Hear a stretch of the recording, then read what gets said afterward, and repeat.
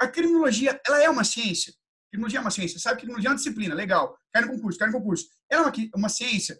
Eu quero que você anote no seu material que ela é uma ciência. Você tem que aprender a estudar assim. Ela é uma ciência? É. Sim, por quê? Então é uma ciência por quê? Eu quero que você anote aí, pessoal, porque essa, essa ciência aí tão é, profunda, né, acerca dos objetos aí, ela tem função própria. Ela tem uma função própria, ela tem objeto próprio, ela tem método próprio, ela tem finalidade própria. Olha que legal. Então, dentro de uma pergunta, eu tirei quatro isso. Ela tem função, tem objeto, tem método e tem finalidade. Legal. Por isso que faz dela uma ciência autônoma. Cara, a criminologia é uma ciência autônoma, porém não independente.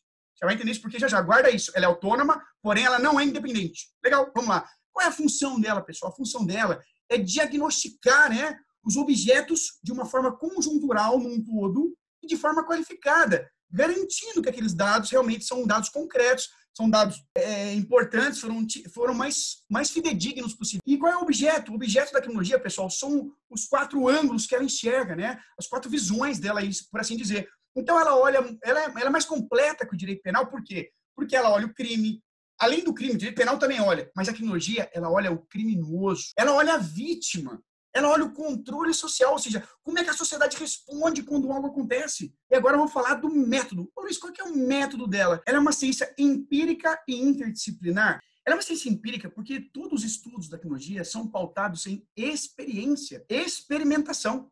Se você já estudou criminologia, você deve conhecer um cara chamado César Lombroso, exatamente o papa da criminologia. O César Lombroso dizem que ele pesquisou mais de 20 mil, 10 mil presos, é, malucos em sanatórios, em prisões, ele fazia anamneses, ele, enfim, ele fazia autópsias nesses caras.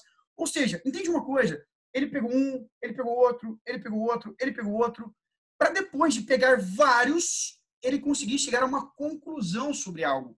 Então ele faz uma análise, uma experiência, uma experimentação. Por que, que ela é uma ciência interdisciplinar? Lembra que eu falei para você que a criminologia é uma ciência autônoma, porém não independente? Porque ela, a criminologia, ela depende de outras ciências. Ela coopera com outras ciências, ela se relaciona com outras ciências, tais como direito penal, psicologia, sociologia, filosofia, medicina legal. Ou seja, ela é uma soma de ciências. A finalidade da criminologia, pessoal, é entender as causas que fazem delinquir e com isso traçar maneiras técnicas de prevenir aquilo ali. Porra, se eu entendo o que está levando o cara a fazer, eu consigo traçar uma maneira de evitar com que aquilo aconteça.